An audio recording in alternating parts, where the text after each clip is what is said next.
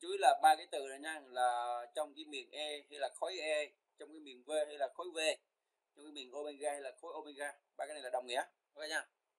Đó. Vâng. mình thích là dùng chữ V thích là dùng chữ E thích là dùng omega mà người ta định nghĩa cho rồi thì mình phải làm theo người ta ok ha? Rồi. Trong trường hợp này thì nó nói mình rằng là nó cho mình E nó, nó tên là tetrahedron solid solid tetrahedron. Rồi nó được giới hạn bởi bốn phương trình mặt phẳng x bằng 0 y bằng 0 z bằng 0 và x cộng y cộng z bằng 1 vậy là bài này chưa có cộng bắt buộc mình phải vĩ hình để mình đi tìm cộng ok không? Vâng. thì quy tắc vĩ hình khi tích phân ba lớp á, là mình chọn cái nào khó nhất mình vẽ trước. Khó quay ha được chưa? Ha? Vâng. cái này thì có hai cách vẽ. Bây giờ mình sẽ chọn một cách rồi xíu nữa nói cách số 2 em cảm giác như là em refer cách nào thì mình sẽ thống nhất luôn cách đó được nha Vâng. rồi bắt đầu mình vẽ nè ha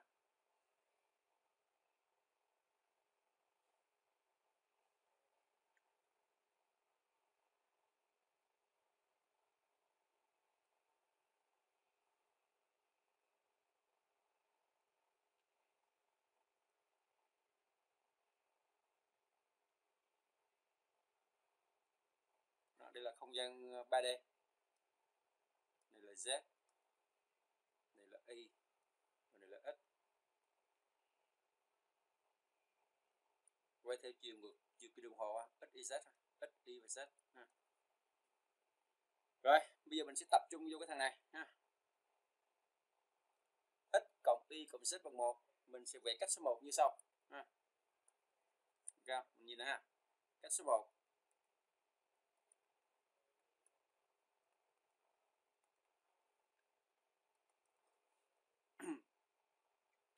cách số 1 là mình sẽ cho nha, mình cho nè x bằng 0 y bằng 0 thì mình giải được z bằng 1 mình được điểm đầu tiên. Nghe không?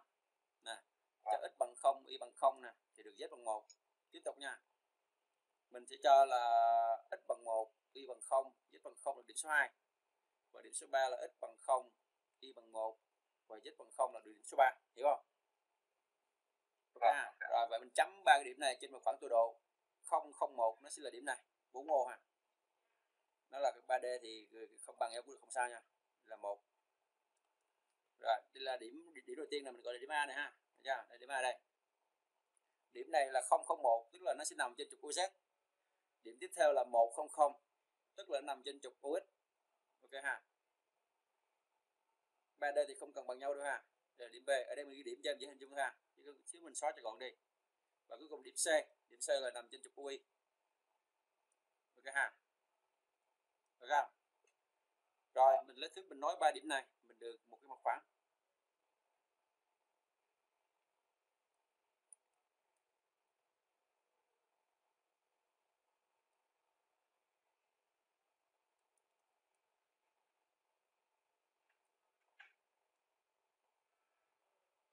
Đó. À đây là chỉ là mới có một cái mặt phẳng thôi nó chưa có được cái miền của mình ha. Tiếp tục nha. Rồi bây giờ mình mình sẽ vẽ mặt phẳng là x bằng không chưa? Rồi thì đây là mặt phẳng x bằng không nè. Nó lý nó lý là nó sẽ là toàn bộ cái mặt này luôn nha. Là x x bằng không nè toàn bộ luôn nha được không? Chưa? Nhưng mà mình lấy cái, cái chỗ này thôi. Đây. Đây là mặt phẳng x bằng không nè được không? Ở phía sau đó nha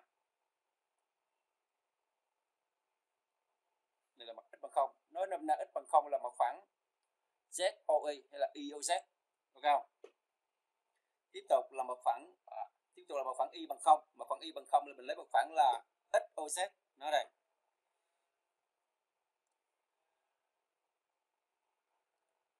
XOZ ha. Đó. Và cuối cùng là mặt phẳng z bằng không là cái đáy ở, ở phía dưới đó. Ha. Mình tạo thêm một cái mặt phẳng ở phía phía mặt của mình này là ABC thì mình tạo được cái hình giống như kim tự tháp. Hiểu không? Hình dung được chưa? Hình dung được không? Mình thay cái màu xíu này nha. Cái kim cái, cái kim tự tháp của mình là gồm bốn mặt. Mình cắt cái màu xíu nha. Nãy giờ chưa có màu này thì cho màu này đi. Nhìn cho kỹ nha. Đó. Mặt đầu tiên là mặt bút chì màu đen. Mặt số 2 là mặt bút chì màu xanh. Mặt số 3 là mặt đáy ở bên dưới. Và mặt số 4 là mặt ABC được chưa? Được không rồi mình ghi tọa độ nha. Vâng. rồi ok. Thì cái điểm này là tại đây là một nè. Tại đây là một nè. Rồi bây giờ mình xóa đi à khỏi dùng abc khỏi đó để thấy cũng được. Rồi bắt đầu mình cắt cận nè. Ok. Rồi mình sẽ always mình sẽ làm cho z trước nếu không có gì bất thường. Nha. Rồi. Đầu tiên mình sẽ làm cho z trước nè. Rồi mình sẽ có được là cái miền ở cái trường hợp là miền e này ha ok ha rồi. Miền e thì bây giờ mình sẽ kể một cái mũi tên nó đâm xuyên qua miền e nhìn ha cái nó đâm xuyên qua nè đây. Ok chưa? Được không? Nhìn ha vậy nó đi vào thì nó sẽ mặt gặp mặt là z bằng không. Vậy cận của z cận dưới nó sẽ là không. Ok chưa? Đi ra thì nó sẽ gặp mặt abc và mặt abc có phương trình z nó sẽ bằng là một trừ cho x trừ cho y. Ok chưa. Rồi bây giờ mình sẽ chiếu xuống cái ờ, mình đứng trên thằng z nè mình nhìn xuống mình coi mảnh đất ở dưới mảnh đất của mình là nó rộng bao nhiêu đó mảnh đất của mình ha nhìn xuống ha thì mảnh đất của mình tức là mảnh đất nó sẽ là o obc hình hình hình dung được không? Mảnh đất ha mảnh đất đáy phía dưới đó. Hả? sao? Là đầu tiên là em phải hình dung được cái hình nó là cái gì ha. Không? Thằng này là thằng bc này là nó nó ngã. Sao cái ờ, cái mặt a nó cái cái đường đi lên nó có đi qua mặt a b o em hỏi một chút em tưởng tượng là cái cái, cái thằng bc này là nó ngã vào a mà làm sao mà đi qua abo được? Đó, thằng bc nó ngã vào a mà đó. Hiểu không? Thằng bc nó thế này nè đây là thằng đây là thằng đây là đây, nhìn vô nè đây cái thằng a nè đây, nhìn vô nè a nó, nó ngã thế này nè. Nhìn vô nè. Nếu mà nhìn vô nó một nhìn thế này nó như thế này nè đi đâm xuyên cái gì nè đúng không? Đó. còn không mình xoay lại cho dễ nhìn hiểu không? Mình mình vẽ theo hướng khác cho em dễ nhìn nè nhìn vẽ theo hướng khác nè.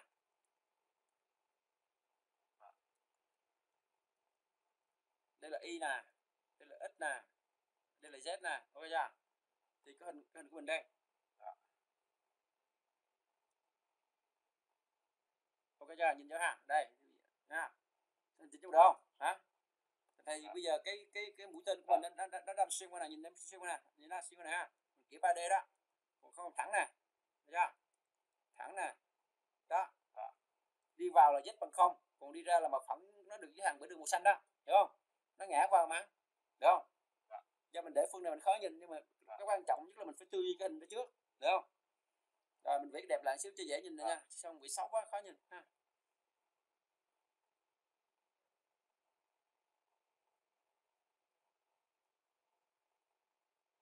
Đây cũng là 3D là nhưng mà ở phương khác nè nhìn cho kỹ ha. Để hiểu cái dạng của cái hàm này đây là một trong những hàm nó phổ biến người ta hay cho. Cái mặt phẳng á bây giờ mình sẽ xây 3D mình xây như thế này là trong không gian 3D nha được chưa? Không thằng này là thằng này là x nè thằng này là y nè thằng này là z nè ok chưa? Thì lúc này đây, cái này là b cái này là cái này là bc nè nhìn đây được không? Đó, nó là 3D đó thì bc dưới này cũng được nè. Bc nè nhìn ha bc ok chưa? Mình nhìn vô nè bây giờ nó đây a nè nó ngã vô a nè. Ok chưa đó là nhìn vô cái đường thẳng này đó. Nhìn nè mình kể một cái đường nó nó, nó kể đường nó đâm đi xuyên qua cái cái khối kim tự tháp của mình nè. Được chưa? Đó. Thì đi vào thì nó sẽ luôn luôn gặp cái đường này nè. Ok chưa? Nhìn ha. Còn đi ra nè. Đi ra thì nó gặp cái mặt này nè. Ok chưa? Ok không? Đó.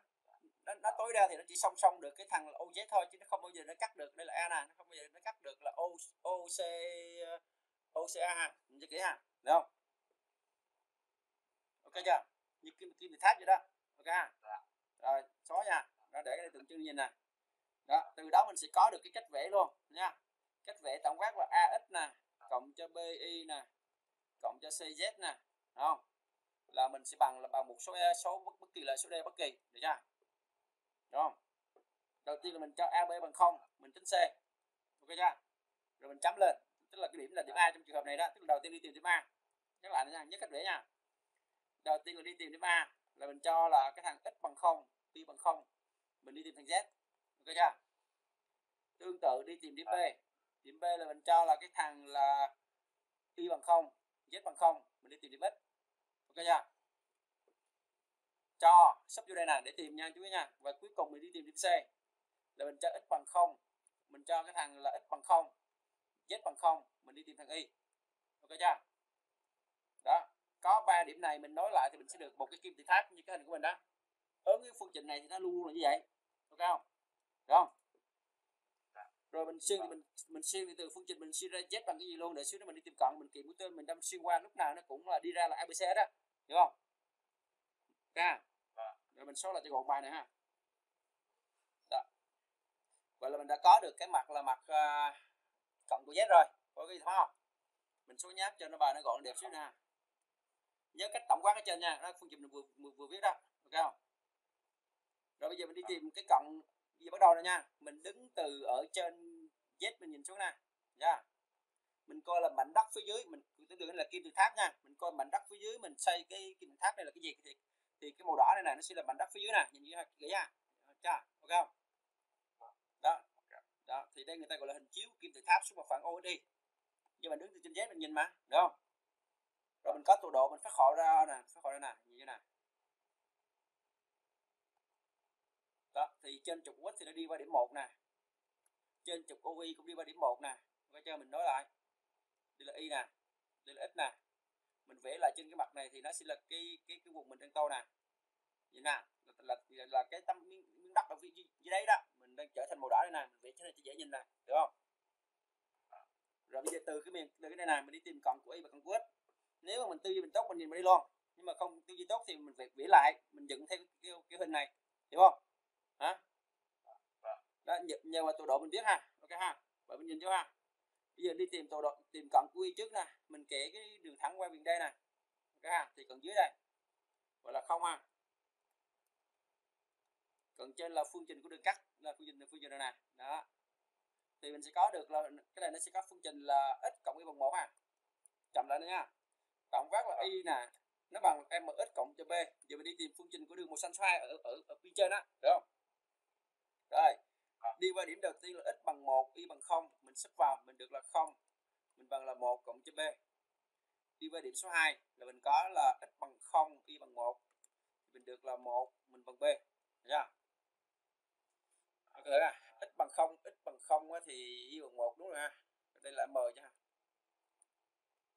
ok chưa?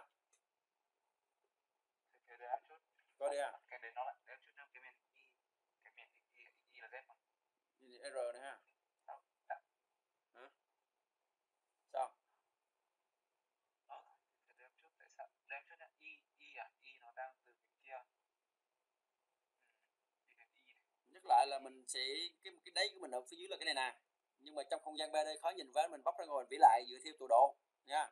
Trên OX thì đi, đi qua một nè. Vâng. trên OY thì cũng đi qua một nè. Mình nói lại nè đó mình dựng thế này cho dễ nhìn được chưa? Đó. Thì bây giờ đi tìm cận đi, đi tìm cận là quay về tích phân tích phân hai lớp bình thường mình đã học là miền R đó được chưa? Được không? Vâng. áp dụng phương pháp chỉ mũi tên qua miền D. Cận dưới đó là cái đường xanh bên dưới đó cận trên là cái đường thẳng đó. Mình phải đi viết phương trình đường thẳng được chưa hả? Vâng. phương trình đường thẳng thì Không, đây, đây, đây là phương trình tổng quát của đường thẳng nè chưa? Mình chọn đi qua hai điểm này nè để mình viết phương trình mình đi tìm m và b ok chưa? Điểm đầu tiên là x bằng 1 y bằng 0 lấy x bằng 1 y bằng 0 sức vào chưa? Điểm số 2 là x bằng 0 y bằng 1 sức vào. Mình giải được cái hệ này mình được là m bằng trừ 1 b bằng b bằng 1 rồi có gì thắc mắc hỏi đi. một rồi sắp vô. À. rồi có gì thắc mắc hỏi đi. Không em em hiểu rồi. Bây giờ Rồi. còn cuối nè. Ê, tại sao- Hả? sao x bình ở đây sao lại x bình cái này ít đó mình viết lộn mà dưới đây mình ít mà viết lộn á À. rồi có cái gì thôi không? À tới đây là dễ rồi ha đó, cái b- ban đầu mình chưa quen thì vẽ là nó cái khó khăn là bình thường thôi. Sau này mình tư duy mình tốt thì mình tưởng tượng nó dễ lắm. Ha sau này bắt buộc muốn học gốc cái này là phải vi hình, chứ không có khả năng vi hình thì học không nổi cái này nha, chú nha. Nha. Mình số nháp cho bài của mình nó gọn lại nè ha.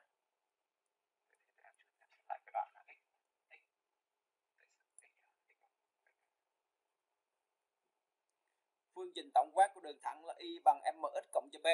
Thì mình sẽ có là two variable là m và b.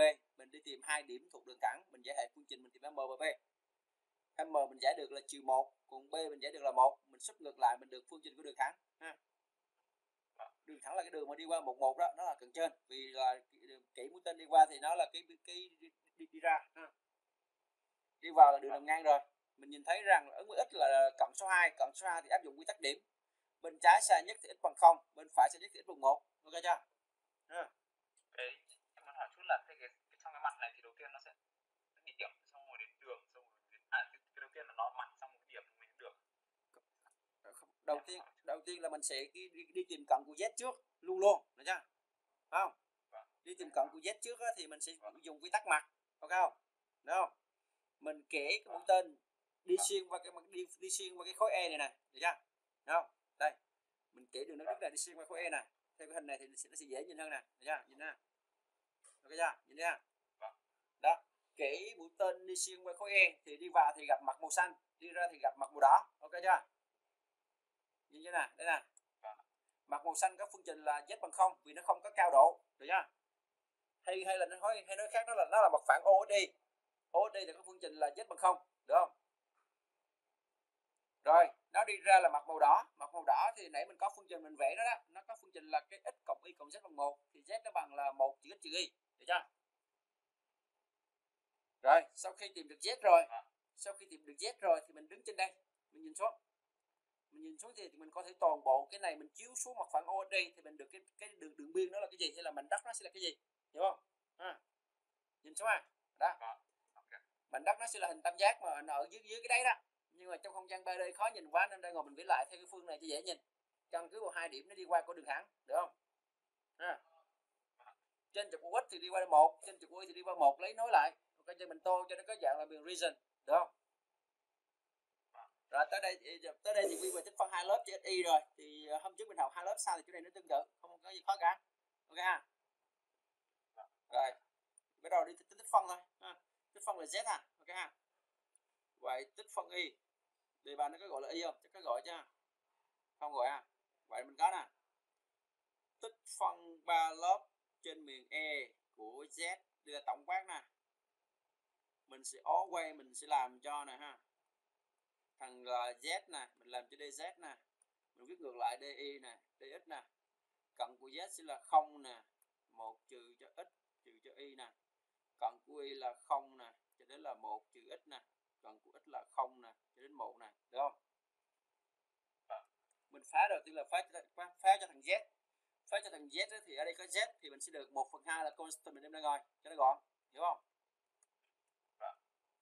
Ở trong là còn lại là z bình. Mình thấy cần trên, thấy cần dưới.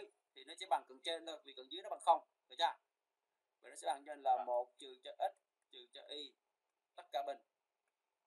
Di dx ok chưa? Rồi, cô cái gì thắc mắc hỏi đi. Ha. rồi. Tiếp tục tới đây, ha. Tới đây thì mình có thể áp dụng quy tắc tính tính nhanh, hay là mình phá bình phương cũng được, nó như nhau phá bình phương thì, thì nó hơi dài được chưa tới đây mình dùng quy tắc tính nhanh đi. Ok nhìn nha mình sẽ tính cho thằng này. Mình ôn lại kho một nha. Mình có công thức tính nhanh này nha. Đó công thức tổng quát của nó nè. Nếu nếu mình có này nha. Nhìn ha? Cái đây là làm ra ngồi là đặt nó lâu lắm nha. Cũng ra nha. Ok không? Nhưng mà nó lâu. Vì mình dùng công thức tính nhanh để sau này mình học kho một mình dùng luôn. Ok không? Ha? Công thức tính nhanh của nó nè. Mình sẽ có là nếu mà kx nè. Mình cộng cho một cái thằng b nè tất cả mũ n dx nè. Nha thì nó sẽ bằng nè là kx nè. Cộng cho b là nhớ là n khác khác trừ một nha. Mũ n cộng một nè. Mũ bao nhiêu thì chia cho bấy nhiêu? Và đừng quên là thêm một thằng k trước nữa. Ok ha rồi. Tổng quát hơn. Tổng quát hơn. Là mình viết cho u là ku cộng cho b. Du hiểu đâm ra là hai này giống nhau nè. Nha mũ n thì nó bằng cho mình là ku cộng cho b, mũ n cộng 1 chia cho n cộng 1 và đừng quên thằng k mình bù cộng cho c. Ok chưa?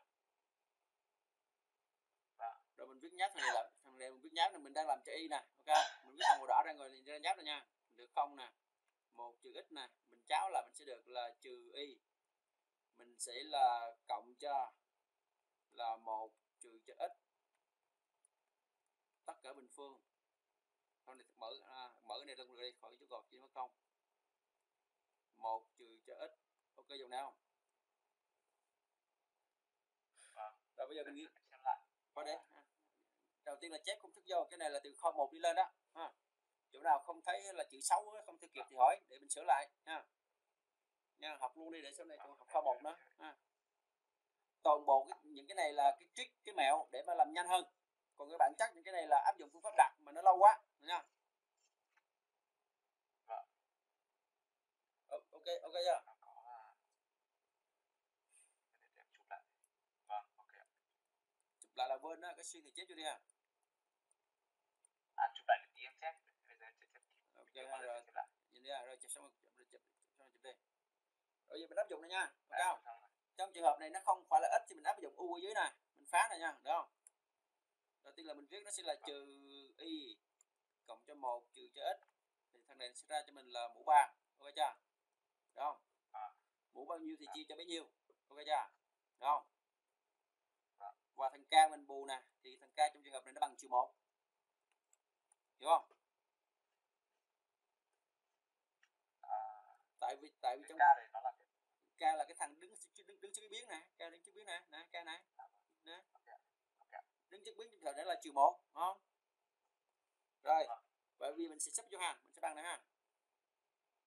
Chậm này nha chứ không là sai cho mấy cái này ủa nha cái, cái sai là sai ở trên đó đừng có sai mấy chỗ này nữa. À, bắt đầu này nha. Thì mình ở đây nó sẽ nhân cho trừ một. Ok chưa? Ok không? Vâng. rồi bây giờ nguyên hàm thì nó ra cục này bây giờ mình cho mất dấu trừ mình sẽ đảo vị trí còn ok chưa? Mình sẽ được là ở trên này mình viết gọn lại theo thứ tự cho đẹp luôn. Mình sẽ được là một trừ cho x trừ cho y tất cả mũ 3 nó chia cho 3 và đây sẽ là một trừ cho x và 0 dx rồi thắc mắc hỏi à? Mình nhắc lại là nó sẽ sinh nó sẽ sinh ra một dấu trừ nhưng mà mình muốn cho nó gọn thì mình đảo vị trí còn thì nó sẽ mất dấu trừ ha? À, ok chưa? Thì mình số nháp nè được không? À, sao? Vâng ok. Rồi ở đây mình có là số 3 nữa nè. Hàng số bên em đã ngồi luôn vậy mình số cái này luôn. Chưa? Thì cái này sẽ là 6 đó gọn gàng cho nên đẹp để nó gọn dễ tính. Ok chưa? Được không? Rồi nó tính nó rất là gọn ha số nháp nha. Rồi. Mình ý là mình đang thấy cho y nha chú ý nha. Giờ mình đang làm cho y mà à. rồi. Cộng trên là y bằng không. Khi y bằng không mình ra được kết quả là một trừ cho x tất cả mũ 3 ok chưa? Được không? Còn dưới là y nó sẽ bằng là một trừ x. Mình xếp vào là được là một trừ cho x trừ tất cả trừ tất cả này nha mình được là trừ một mình cộng cho x được không? Mình mở dấu ngoặc ok không?